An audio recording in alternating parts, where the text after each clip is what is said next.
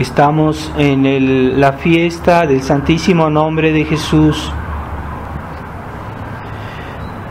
Lectura de, de lo- de los Hechos de los Apóstoles. Pedro, lleno del Espíritu Santo, dijo, Príncipes del pueblo y ancianos, oíd pues, hoy se nos procesa por haber sanado a un hombre tullido y se investiga por virtud de quien ha sido curado.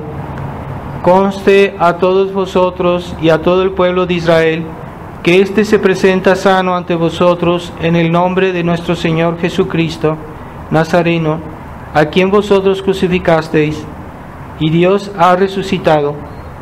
Esta es la piedra que vosotros desech- desechasteis al edificar, mas ha venido a ser la piedra angular y no hay salvación en ningún otro, pues no se ha dado a los hombres debajo del cielo otro nombre por el cual podamos ser salvados. Continuación del Santo Evangelio según San Lucas.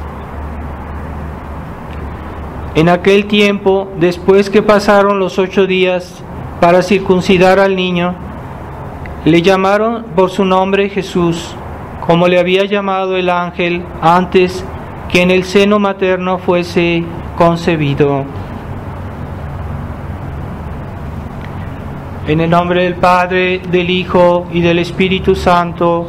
Amén. Ave María Purísima.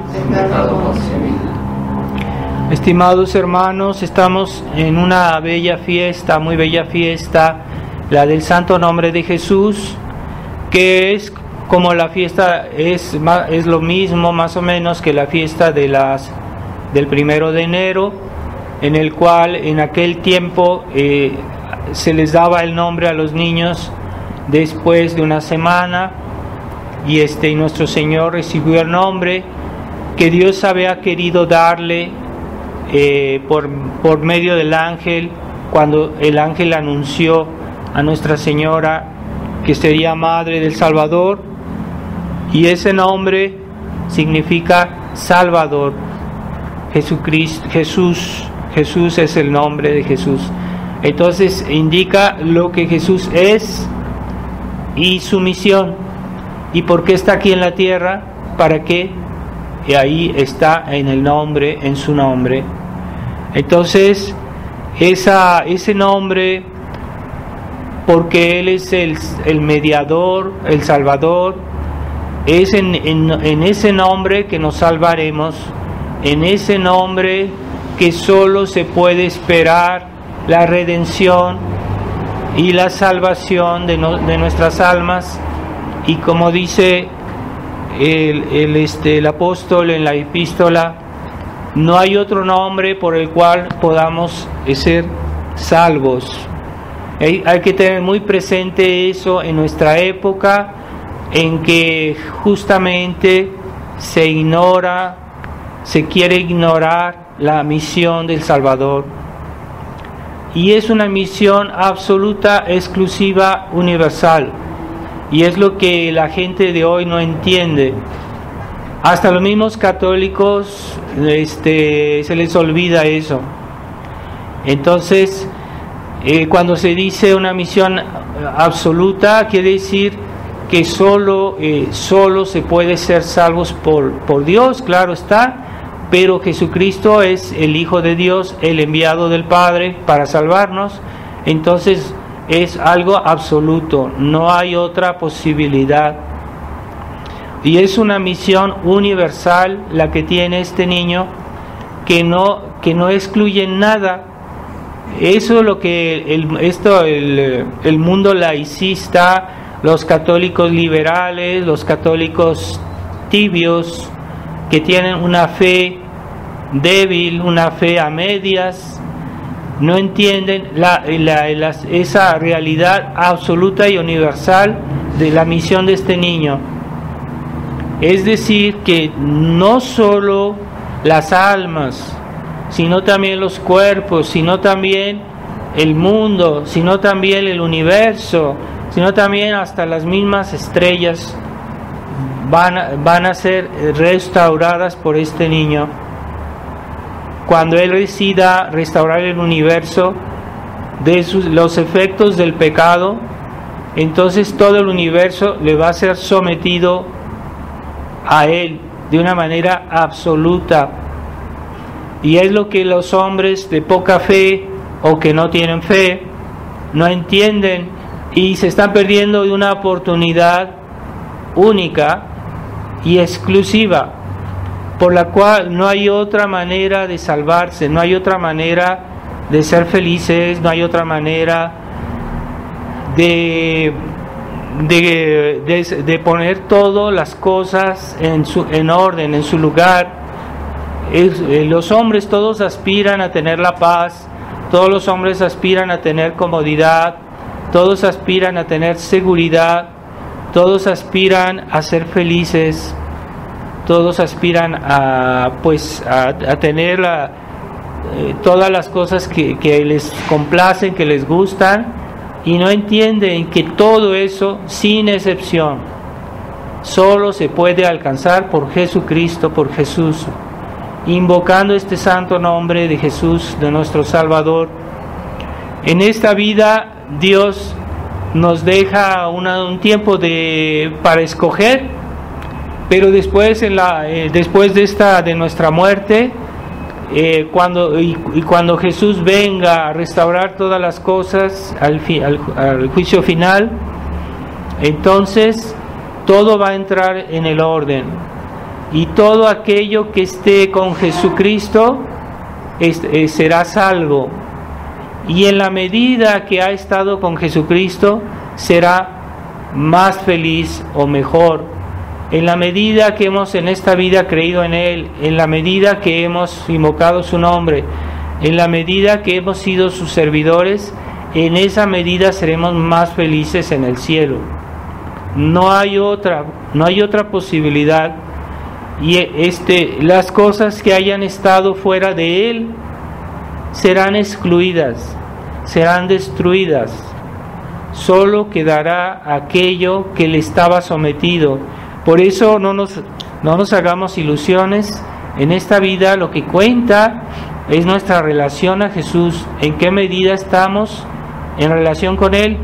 Es una relación de sometimiento, de amor, de fe. Entonces seremos recompensados en esa medida.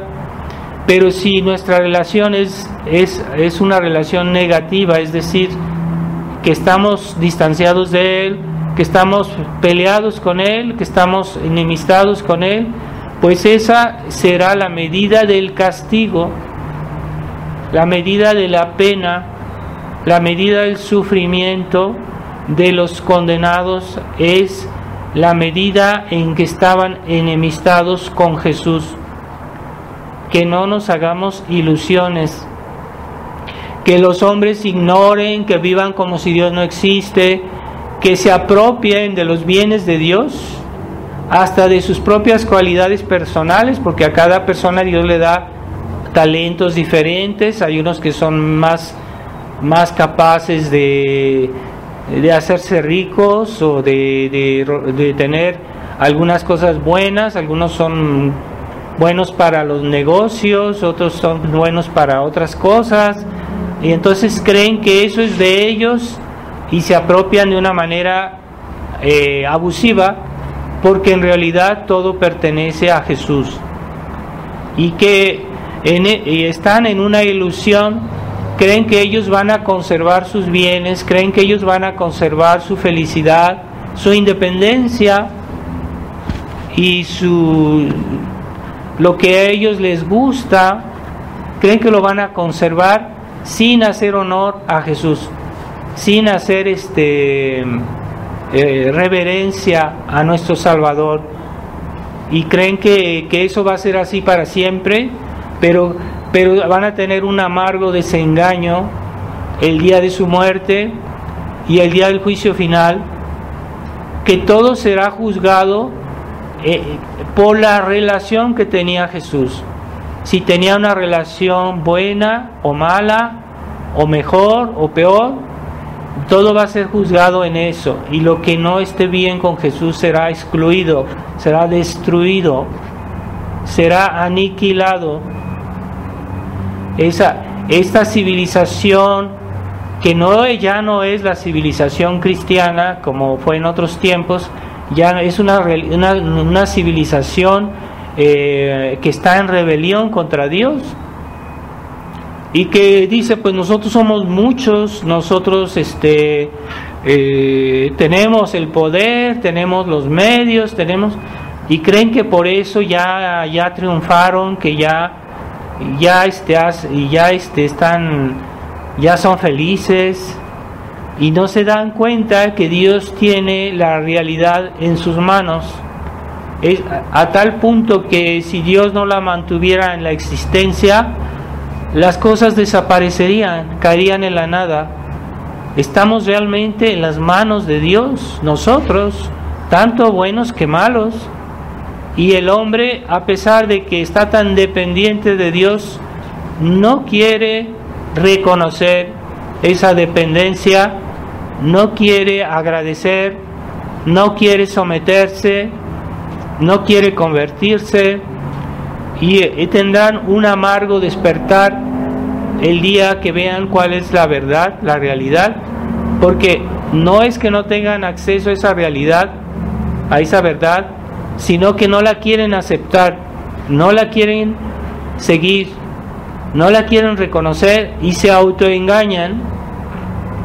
Entonces Dios nos ha dado un medio para reconocer eh, la realidad que es Él y nos ha dado la, virtud de fe para reconocerlo, pero hay personas que se niegan a aceptar todo lo que la fe les sugiere o les enseña o les quiere eh, les motiva a actuar.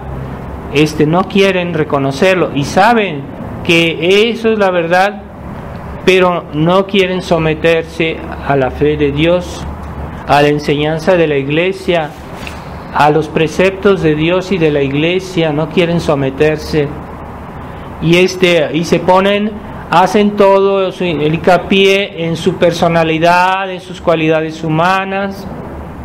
Algunas personas tienen dones, es cierto, algunas personas tienen dones tal vez de, inteligencia o de son buenos para algo, pero se lo atribuyen a sí mismos y no le dejan una, una, una, migaja a Dios.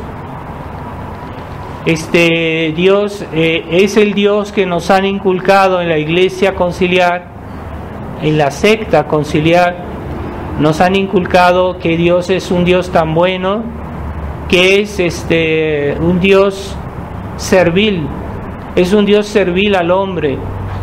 E, el hombre, el hombre, Dios está al servicio del hombre y no es el hombre que está al servicio de Dios. Entonces, ya este, en, la, en, la, en la gente hay una especie de casi de desprecio por Dios porque no, lo, no le dan gracias, no lo sirven, no lo obedecen. Aunque sí dicen, ay Diosito, ayúdame, tengo un problema, Diosito, que Dios nos ayude, que Dios tenga misericordia de nosotros, pero ellos no hacen nada por Dios, es en el fondo una burla por Dios. Tratarlo así a Dios es burlarse de Él. Entonces quieren, quieren este, que Dios les dé todo, pero ellos continúan a ignorarlo, porque ignorar a una persona es algo ofensivo. Si ustedes van a, ver una persona y esta persona no, les hace caso, no, les dice nada, los ignora, es algo ofensivo, es, es una ofensa. Entonces, cuando uno, se uno trata así a Dios, pues es algo ofensivo, es un pecado. Aunque diga, no, es que yo no estoy contra Dios, yo creo en Dios, yo trato de ser bueno con los demás, pero no tengo tiempo de rezar, no, tiempo de no tengo tiempo de ir a misa, no tengo, tengo, no, no tengo tiempo de eh, ayudar a la iglesia y siempre están buscando algo, un motivo para no hacer sus deberes, pues eso es desprecio de Dios. En realidad, en realidad eso es un desprecio de Dios. Y Dios en su bondad nos ha, nos, Él se ha hecho como alguien que vino a, se puso a nuestro alcance, se humilló, nos rogó, nos rogó de mil maneras, nos ha rogado que seamos buenos, de mil maneras nos ha eh, sugerido que somos eh, dependientes de Él, nos ha dado tantas cosas que, tantos regalos, esperando que de nuestro corazón saliera un pequeño reconocimiento, una, una acción de gracias, un poco más de amor hacia Dios. Y, no, y, eh, la, la, presunción, la arrogancia que de este, de este mundo actual, de la gente de hoy, que basta a veces en la calle verlos cómo se comportan, cómo son arrogantes, cómo se creen personas muy importantes y no lo son. Entonces, y no, Dios no ha, no ha cultivado, a pesar de tantas bondades, algún gesto de reconocimiento de la gente. Él murió en la cruz de una, de una muerte humillante, horrible, de lo, peor, que la cruz estaba reservada en otros tiempos a los esclavos, a la peor gente, a los peores ladrones.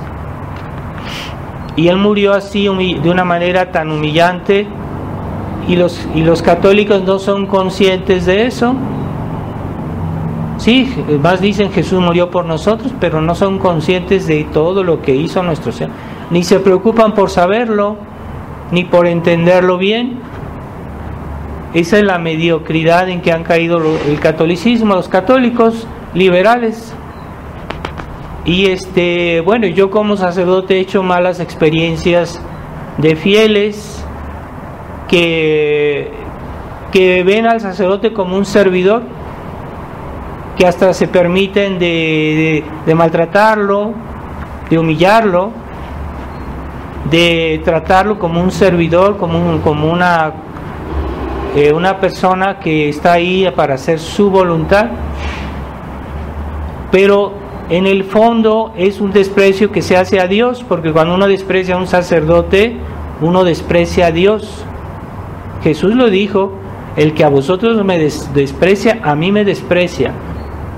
Jesús lo dijo, pero ¿por qué? ¿Porque el sacerdote es un hombre? No, porque no es porque el sacerdote es un hombre es porque el sacerdote es el representante de Dios. Pero si desprecian al representante, pues desprecian a Dios. Si eh, ven al sacerdote eh, alguien que debe servirles, pero no ven que los, los fieles tienen la obligación de ayudar al sacerdote, de apoyarlo. En otros tiempos, cuando el México era cristiano, la gente entendía eso y por eso la iglesia podía hacer más bien. O sea, piensan enseguida que el sacerdote quiere hacer las cosas de una manera egoísta. No sé por qué quieren que pensar que el sacerdote solo piensa en ser egoísta. Pero no, en otros tiempos cuando la iglesia, cuando los fieles entendían que había que ayudar a la iglesia, pues había hospitales católicos, había orfelinatos, había casas para ancianos, había escuelas gratuitas para los niños, había buena enseñanza y todo eso era beneficio del pueblo, pero la gente no se podía decir, es que yo no ayudo al sacerdote porque a lo mejor él va a hacer mal uso de ese dinero. Están siempre sospechando que a lo mejor que esto y que aquello, y entonces todo no avanza, no se puede hacer nada, no se puede... Entonces, sí, hay casos de sacerdotes que no se comportan bien, es, es verdad, pero no hay que decir que ya porque uno se portó mal, que todos son malos. Cuidado, o sea, eso se... Eso se y, y en el fondo es una ofensa a Dios, ¿verdad? Cuando esas personas eh, pues yo incluso eh, cuando viajo en los aeropuertos se ve la, el desprecio que muchas personas tienen hacia el sacerdote, pero en el fondo no es hacia el sacerdote, es hacia Dios, porque el sacerdote representa a Dios. Es, el, es, el, es como el embajador de Dios, ¿verdad? Entonces Jesucristo nos dio la parábola de, esos, de que Él envió, de ese, de ese rey que envió a sus servidores a invitar a unas personas a las bodas y estas personas no solo no quisieron ir a las bodas, sino que mataron a sus enviados, los mataron. Bueno, es lo que hace este mundo impío con los representantes de Dios, porque han perseguido a la iglesia. Han eso fue, eso pasó en México cuando la cristiana de una manera violenta, pero también pasa hoy de una manera eh, más encubierta pero también este, se hace, se persigue a la iglesia, se limita a los derechos de la iglesia y la iglesia ya no puede, ya no puede poseer este, propiedades, ya no puede tener riquezas que no son forzosamente para hacer el mal, ¿verdad? Entonces ahí están imaginando, es que a lo mejor va a ser mal uso de ese dinero, entonces no damos. Bueno, pues no den. Y este y hubo un presidente de Alemania que era masón, eh, Schröder, algo así su nombre, y él declaró públicamente, dice, nosotros hemos hecho una sociedad en la cual la iglesia no puede subsistir, la iglesia se asfixia, la iglesia desaparece porque le hemos quitado todo lo que hace que la iglesia pueda existir. Aunque no haya una persecución directa, física, pero le hemos quitado todos los medios a la iglesia y de esa manera la iglesia va a desaparecer. Él lo dijo, él hizo una declaración públicamente de ese tipo. E, esa es la, la, concepción masónica que hay hoy, porque ellos no quieren mártires, no quieren mártires porque ya saben que cuando hay mártires hay muchas conversiones porque Dios da gracias a las almas. Cuando una persona es mártir, eso gana gracias, es semilla de cristianos, la sangre de los mártires. Entonces han adoptado otra táctica de decir, no vamos a ser mártires, no vamos a perseguir de una manera violenta a la iglesia, pero la vamos a limitar, le vamos a quitar sus derechos, le vamos a quitar sus propiedades, le vamos a quitar sus riquezas. Y, este, y entonces la iglesia va a desaparecer porque no tiene medios, ¿verdad? Entonces, la, la, y eso es lo que está pasando hoy. Y este masón lo dijo, lo dijo, pero aunque no lo dijera, y ya lo sabemos, este, eso es la, la, persecución que hoy se hace contra la iglesia.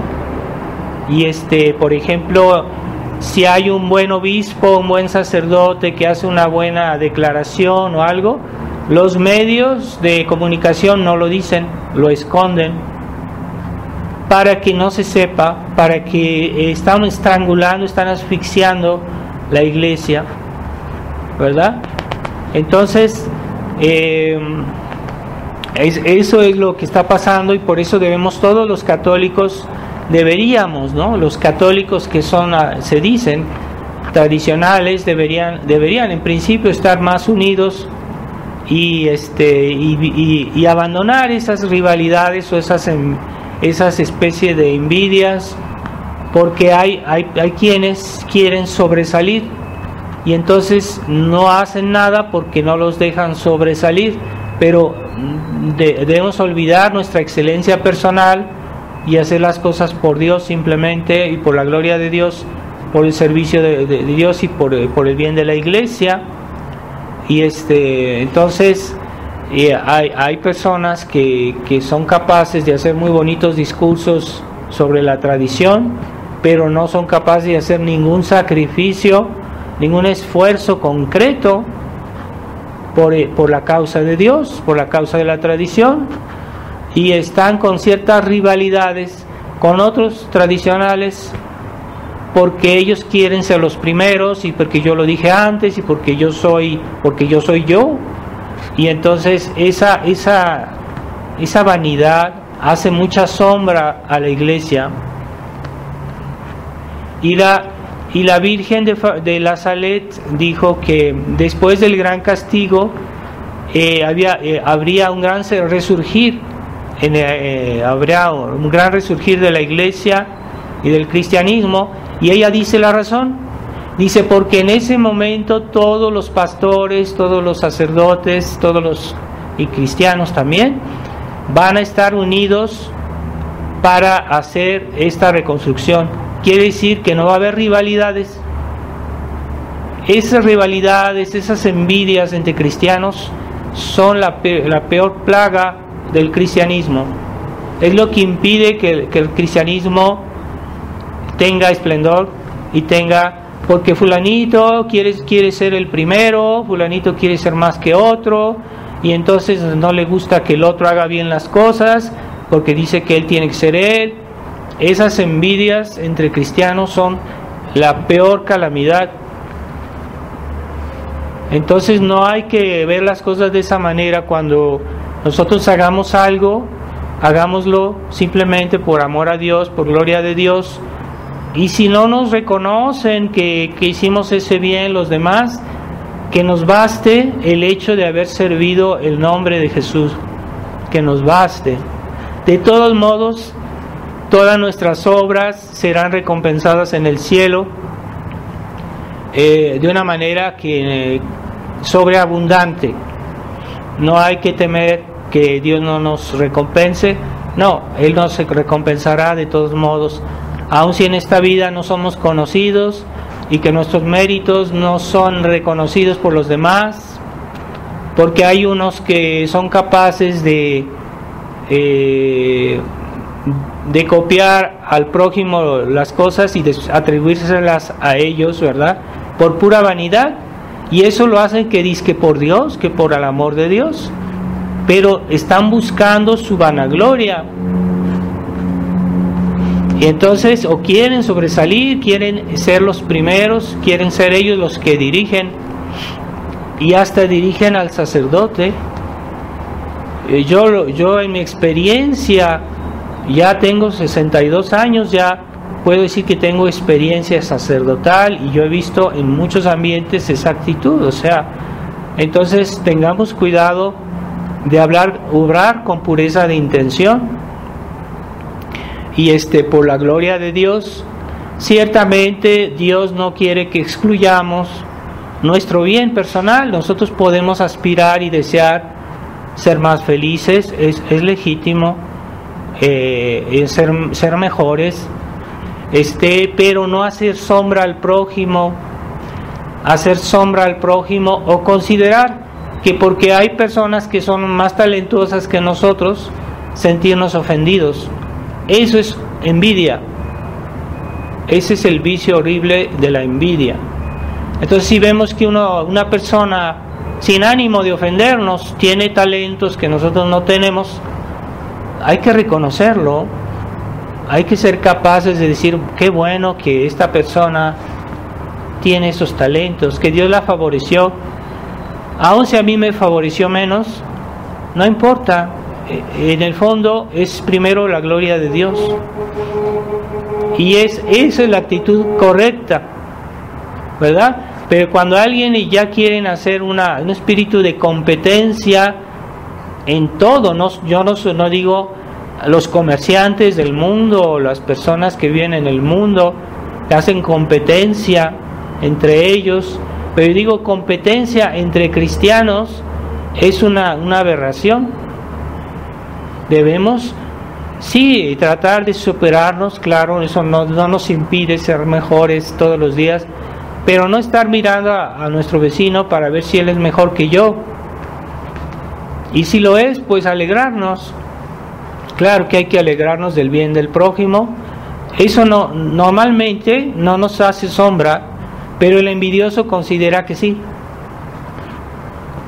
Cuando alguien es, tiene una cualidad, en sí no nos hace sombra, pero el envidioso lo percibe así. Entonces, que Dios nos libre de esa, de esa mentalidad. Y este, por eso tal vez Dios no ha bendecido tanto a su iglesia, porque los católicos no son dignos de llevar ese nombre de cristianos, de llevar el nombre de Jesús. Y e, es lo que, está, lo que ha hundido a la iglesia, lo que la ha hundido en esta crisis tan espantosa, es la mediocridad de los cristianos, de los católicos. Y este, están viendo que el mundo se está cayendo a pedazos y todavía andan con sus mezquinidades.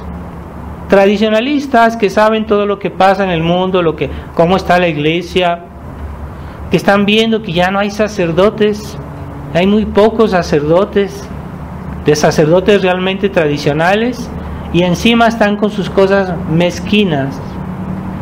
Eso puede atraer un castigo de Dios, es que hay que tener mucho cuidado. No hay que burlarse de Dios.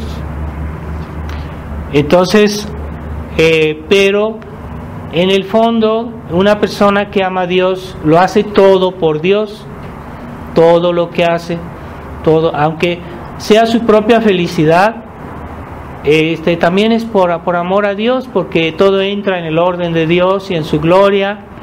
Entonces hay que tener esa, ese sentido de que primero está Dios. Y si uno ama a Dios y, respeta a Dios, eh, eh, eh, nuestra felicidad es automática, o sea, va junto con eso. los, que, los que son más felices en el cielo son aquellos que fueron más desinteresados, lo que lo hicieron todo más por amor por Dios que por amor propio. Esas son las personas que son más felices. Entonces, entonces como decía Jesús en las, las bienaventuranzas, ¿verdad? Los, eh, los pacíficos, los mansos, los, ellos son los que van a gobernar el mundo. No van a ser los que en esta vida se dan muchos aires de importancia, que se creen mejor que los otros, que son este, violentos con los demás, que se imponen de maneras que no son justas. Puede ser por la violencia, pero también por las mañas. Y este, e, esos no serán los que van a gobernar la tierra cuando cuando el mundo sea restaurado, cuando sea el cielo, los que van a gobernar, veamos las bienaventuranzas, ahí, lo dice nuestro Señor, que los mansos, los humildes, los que sufrieron persecución, son esos los que van a gobernar. A los demás, los que serán los más importantes en la otra vida, no los arrogantes, los presumidos, los que se creen más bellos que los demás, se sienten más guapos, este, los que presumen, hay personas muy humildes que son muy amadas de Dios que ni siquiera se dan a conocer porque son personas que se esconden. Y es propio de los, de los santos esa discreción. Pero eh, según las máximas del mundo, son importantes aquellos que se dan muchos aires de importancia y que se se imponen a los demás por, ¿verdad? Entonces tengamos presente eso. Nuestra gloria, nuestra, nuestro honor es primero el honor de Jesucristo. Hay que honrar este nombre de Jesús. Estamos festejando su fiesta, no basta decir, ah, qué bonito el nombre, de Jesús, qué, qué bonita fiesta. ¿Qué quiere decir esto? ¿Verdad? Este, eh, no basta decir el nombre, hay que, hay que consentir lo que ese nombre significa. Y cuando yo digo Jesús, estoy hablando de Dios, de la bondad de Dios, de la bondad infinita. Entonces, eh, no basta que yo diga Jesús para salvarme. Yo debo aceptar y seguir lo que este nombre significa. No es cuestión de palabras solamente, es, es la entonces, este, como dijo Jesús, no, no los que me habrán dicho Señor, Señor se salvarán, ¿verdad? No los que habrán dicho Jesús, Jesús se salvarán, sino los que habrán hecho mi voluntad. Así está. Entonces, si yo hago la voluntad de Jesús, yo estoy honrando su nombre. Es lo que mucha gente no entiende. Creen que honrar a una persona es solo de palabra como hay personas que a veces, que por ejemplo a un sacerdote le hacen elogios, le hacen alabanzas, eso puede ser una falta de caridad porque se suscita el, el, orgullo del sacerdote, lo pueden envanecer. Por eso no es bueno andar haciendo elogios a la gente, puede ser una falta de caridad, porque lo estamos tentando que se haga vanidoso. ¿Qué es mejor? ¿Hacerle elogios a una persona o tratarlo con caridad? Pues es mejor tratarlo con caridad. Si, estimamos que una persona, eh, este, yo la estimo, pues en lugar de hacerle elogios, mejor la trato con caridad, porque eso le hace bien, porque eso no la envanece, ¿verdad? Y es mejor. Entonces, este, eh, y justamente esas personas que les gusta hacer muchos elogios, pues son a veces las que critican más después. Entonces, por, por adelante son elogios y por atrás son críticas. Entonces, hay que tener cuidado. Pero sí, cuando, cuando vemos que una persona tiene una cualidad, hay que tener cuidado de no hacerle demasiadas alabanzas porque podemos hacer que se vuelva orgullosa. Y es lo que pasó con, con Santa Teresita del Niño Jesús.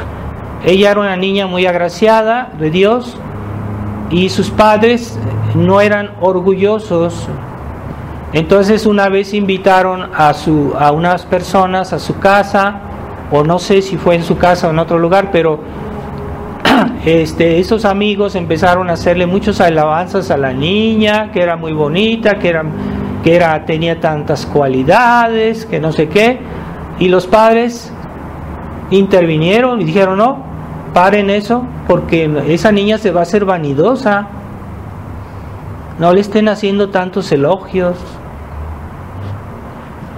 Entonces, eh, solo se puede dar elogios a Dios sin riesgo de que Dios se vuelva orgulloso porque Dios es infinitamente humilde. Entonces, eh, a Dios sí hay que elogiarlo porque Dios no, este, no, no tiene el riesgo de amanecerse.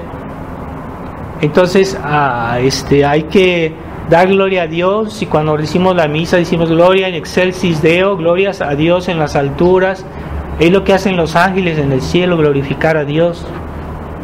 Pero eh, Dios es justo, completamente justo, y Dios no es este, no es así, no es orgulloso. No, él, la actitud de Jesucristo, siendo Dios, desdice cualquier actitud de orgullo. Y nuestro Señor se adaptó a todos, era muy sencillo en su trato, ¿verdad? y este, a los niños, a los pobres, a los pecadores. Era humilde nuestro Señor siendo Dios. Y hoy hay personas que se sienten eh, un poco mejores que los demás, se sienten guapos, se sienten bellos y empiezan a despreciar a los demás y los tratan con mucho desdén, lo cual es muy ofensivo. Entonces, no, Dios no nos juzgará por nuestros dones naturales, Dios nos juzgará por nuestros actos. Entonces, si una persona tiene cualidades pero no las usa, ¿verdad? En lugar de usarlas para dar gloria a Dios, para practicar la caridad con el prójimo, porque una, una cualidad que no ha sido utilizada en actos buenos es una calidad, cualidad desperdiciada. No sirvió, es como si yo tengo un millón de pesos y se queman o los guardo y se pierden. No sirvieron de nada. ¿De qué sirven? Si no se utilizan de una manera correcta, es como, como si no se tuvieran. Entonces todas las cualidades que Dios nos pueda dar son perdidas, son desperdiciadas si no hacemos ningún acto con ellas para gloria de Dios y servicio del prójimo. Y si no hacemos nada por el prójimo, podemos considerar que esas cualidades están desperdiciadas. No tendrán recompensa. En, este, en el cielo no tendrán recompensa. Pero sí, eso para vanagloriarse, para mostrarse si uno ve como la gente es arrogante y prepotente, ¿no? O sea, cuando uno va a las calles o en los lugares un poquito mundanos, o en los aeropuertos, ¿no? Yo que he tenido oportunidad de viajar, se ve como la gente es suficiente, no necesita de Dios. Si ven un sacerdote, no, no necesitan del sacerdote, ¿no? No les dice nada. ¿verdad? Y eso, eso me pasó a mí, por ejemplo, yo, eh, hay, hay regiones que son más católicas que otras, no hay nada que hacerle, es así. Entonces yo cuando iba, por ejemplo, eh, en Guadalajara, yo fui a, uno, a, un hospital varias veces y este, las personas enseguida me veían decían, padre, venga a ver a mi enfermo, venga a darle una bendición. Y no me dejaban salir, yo estaba desesperado porque no podía salir del hospital, porque toda la gente venía a pedirme si venía a ver a su enfermo o venía a ver a su a su persona, a una persona que estaba muriéndose, etcétera. Y este, pero eso es muy buena señal que por lo menos haya esa inquietud. No es por el sacerdote, es por lo que el sacerdote representa. Representa a Dios. Y eh, eh, aquí en la Ciudad de México he estado en varios hospitales y nadie me llama. Voy a ver una persona, pues sí, una persona que sí me llamó, pero ya yo veo que las demás personas que están ahí o personas enfermas que están muriéndose y no se les viene a la mente decirle, Padre, venga, déme una bendición, no se les ocurre. Lo miran al sacerdote con curiosidad, pero no le dicen nada, no le piden una bendición, una absolución, un sacramento. Ahí se ve a qué grado, este, a veces en lugares, la descristianización es más, más grande, más en, en, Europa sí también yo vi mucha indiferencia cuando estaban los hospitales. La gente no, no, no, se, no se preocupa, se están muriendo y no piensan que enseguida de su muerte van a ver a Dios y que van a decirle y no dicen, bueno, hay un sacerdote, pues que me dé la absolución por lo menos. Pues nada, a ese grado ha llegado la indiferencia de, la gente es inquietante por su salvación, pero ellos se sienten suficientes, no creen que no necesitan más. Es muy triste eh, ver eso. Y para que invoquemos el nombre de Jesús, el nombre de Dios, debemos tener conciencia primero que, que somos nada, nosotros no somos nada, delante de Dios no somos nada. Y también que somos pecadores, y que necesitamos de Dios. Entonces, si tenemos conciencia de eso, vamos a hacer lo necesario para salvarnos. Entonces, esa, esa, esa indiferencia que hoy hay mucha gente que ya la tiene como en las venas y este y pasan los años y no se preocupan de, de acercarse a Dios. Todos podemos tener un momento de, de desvío, de indiferencia, podemos tener fallas, pues, sí, pero a lo largo de nuestra vida tenemos siempre la oportunidad de decir, bueno, me voy a recuperar, voy a, voy a acercarme más a Dios porque no es posible que yo esté siempre así. Voy a hacer un esfuerzo, voy a invocar el nombre de Jesús, el nombre de María.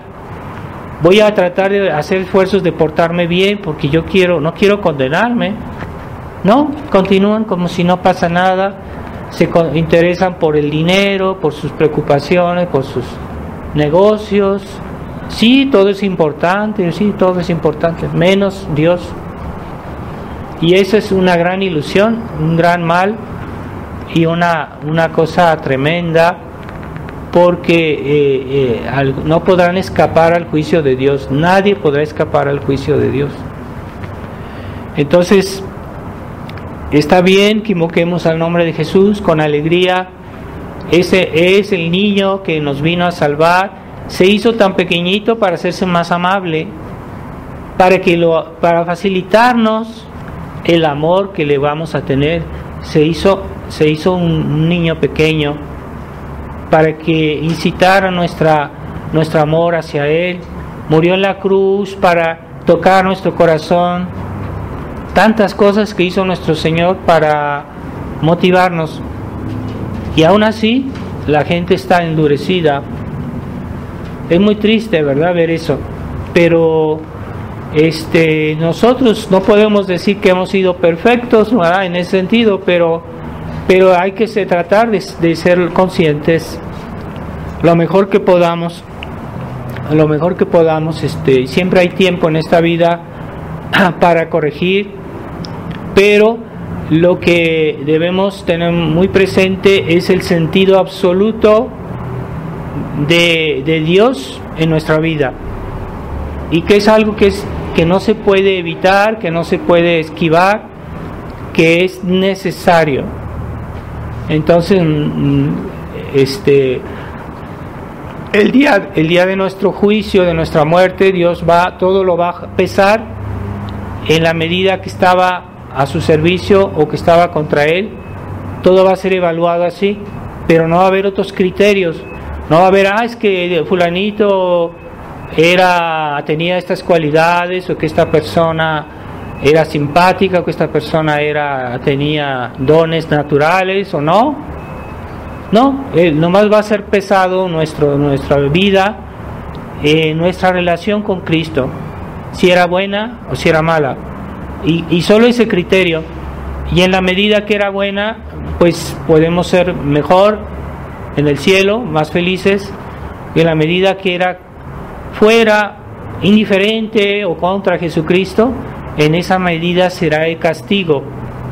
Y no será un castigo cualquiera, será un castigo eterno. No hay marcha atrás, no hay vuelta atrás, será para siempre. Entonces, cuando uno oye estas cosas, uno dice, entonces esta vida es muy importante. Todo lo que hacemos en esta vida es importantísimo, porque compromete la eternidad. Eh, y hay personas que pasan esta vida perdiendo el tiempo, pero todo lo que hacemos en esta vida tiene una tal importancia, es una importancia eterna.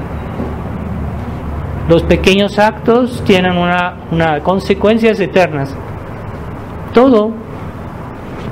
Entonces no es que yo dedico una parte de mi vida a Dios y otra para mí para hacer lo que yo quiero, lo que me gusta, y Dios no tiene que ver en eso.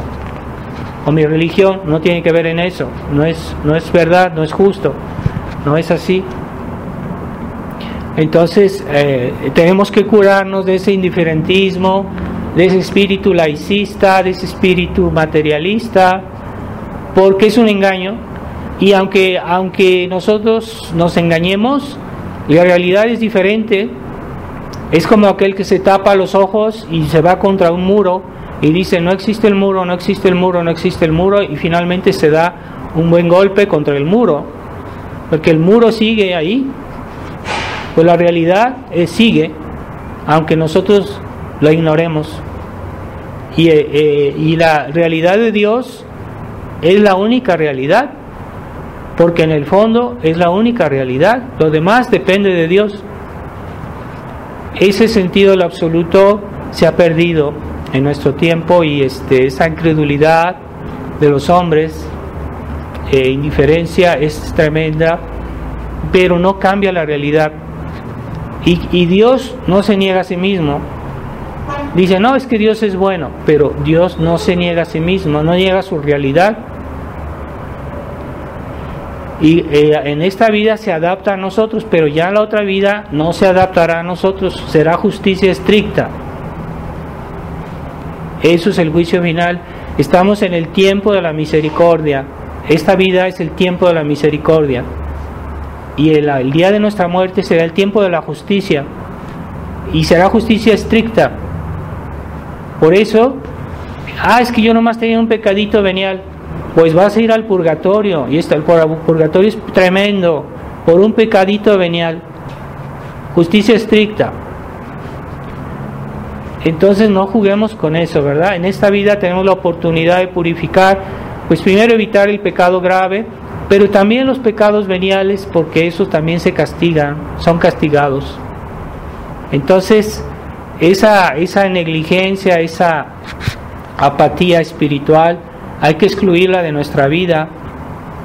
Ah, es que no tengo tiempo de pensar en eso, yo no tengo tiempo de decir el rosario, no tengo esa apatía hay que hay que excluirla, hay que acabar con ella.